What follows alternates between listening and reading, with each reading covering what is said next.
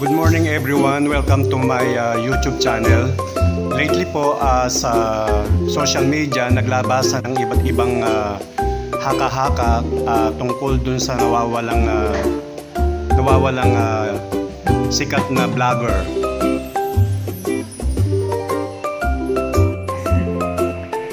Kung hindi nyo po natatanong, uh, isa ako dun sa kanyang mga follower uh, million-million followers. So ako rin mismo ay uh, nabigla o na-surprise dun sa nangyari na yon. Okay? Uh, pero so far, hindi po natin alam kung ano na talaga ang uh, totoong nangyari dito sa sikat na vlogger na to.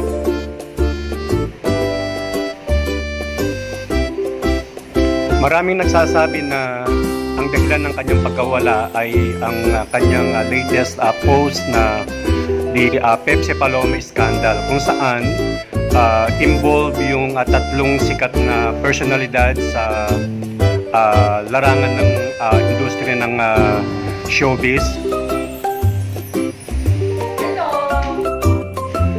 Doon sa kanyang uh, latest uh, upload na video, makikita mo mga may mga code na kanyang uh, in-upload. May mga figures na ang hirap intindihin at parang may umiiyak at may humahabol. So ano man ang nangyari dito sa kanya, uh, sana ligtas na lang siya at uh, sa kanya kasing uh, talento sa larangan ng vlogging doon sa kanyang pag-narrate ay walang makakatumba sa kanya pero sabi nga uh, kung nakakatapak ka naman ng uh, ibang uh, bagay, eh, dapat titingnan mo rin yung iyong mga pinopost.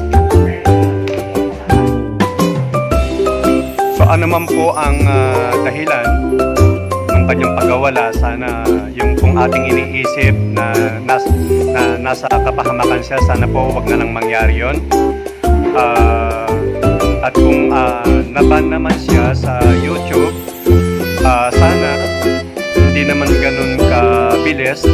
So, maraming mga YouTuber dyan, million-million yung kanyang kanilang mga subscriber, mga million-million din yung kanilang viewers, pero kung titingnan mo, eh wala kang makikitang maganda kung hindi puro mura. Simula na vlogging, puro uh, pagmumura at uh, walang naibibigay na magandang influensya sa mga kabataan sa mga uh, kamukha ko rin na nag-uumpisa sa vlogging, uh, careful po tayo dun sa ating mga ipinopost, sa ating pong mga comment. At uh, titingnan po natin kung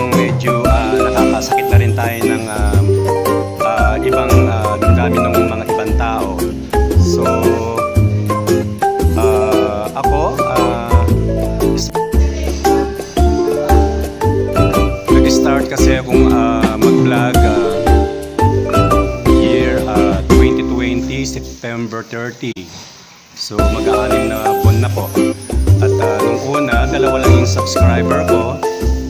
Eh, tuwan-tuwa na po ako at uh, para na ako nasa heaven. Uh, ang hirap din ng uh, nag-start ka, parang hindi mo kayang tapusin kasi nga wala kang viewers,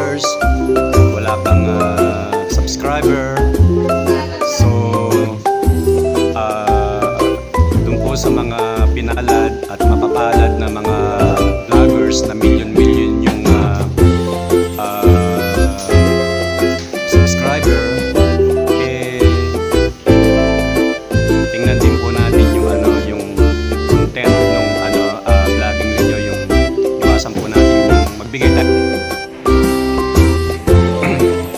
nakakaingit po yung ano, yung uh, millions of uh, subscriber, billions of viewer. Nakakaingit sila. Uh, isang post lang nila million-million yung kanilang mga viewers. Million-million yung kanilang subscriber. Samantalang kaming maliliit eh. Isa, dalawa, tatlo, ganun lang. Pero masaya na kami. Ang importante, wag na lang kami makatapak ng mga ibang issue na magpapalubog sa amin. So,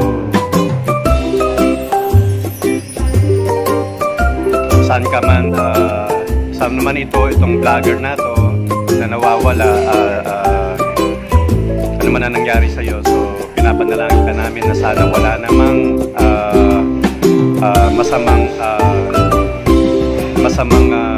talagang ah, serious na nangyari sa iyo. Sana bumalik ka. So, ganun na lang po. Ah, maraming salamat sa inyong ah, panunood. Ah, thank you for watching. Ah, God bless. ah, God bless us all. God bless Philippines. Ah, thank you very much for watching. Ah, doon po sa mga ngayon pa lang ah, nakapanood, ah, kung pwede po, paki-subscribe na rin at paki-hit na rin po yung notification bell para po lagi kayong updated sa aking mga bagong mga video o vlog. Magandang araw po sa inyong lahat. Pagpalain po tayo nawa ng ating pupong may kapal. Ah, before I go, ah, shout out po dun sa mga relatives ko dun sa Cabanatuan City, especially yung dalawang brother ko sa Saragossa, Nueva Ecija. Ah, Brad, kumusta na kayo dyan? Ah, sana, I do hope that ah, you are in good health and good condition. Ah, I'm longing to be with you always, but unfortunately, I cannot do that because of this ah, pandemic situation.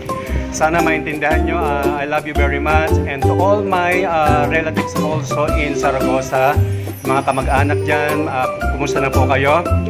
And ah, also, ah, shout out dun sa ating mga co-teachers, Kenny King ah, FG Nepomuceno Memorial High School in City Center, Pandan. Ah, uh, amimiss na na kayo rin. And of- also doon sa aking mga co-teachers nung nag-aaral pa ako ng doctorate dyan sa Philippine College of Health. Also shout out dun sa aking mga ah, classmates sa Dr. of Philosophy dyan sa ah, Manila sa ah, Philippine College of Health and Sciences. Ah, miss na na kayo Ah, miss ko na kayo since ah, June ah, 8, ah, 2019 nung ma- mag-graduate tayo, hindi ko na kayo nakita sa mga ating ah, advisors, si Dr. Cano, yung pong ah, ah, aming dean. Ah, sana po nasa maganda kayong ah, ah, kalagayan at ah, to all my students here in Angela City, sa, especially in ah, Francisco Gino Pomuceno Memorial High School, sa mga naging ah, Anthony College of Technology, Mabalacat, and also dun sa mga ah, naging classmate ko rin sa National Teachers College dyan sa Manila. Kumusta na po kayong lahat? Sana po God bless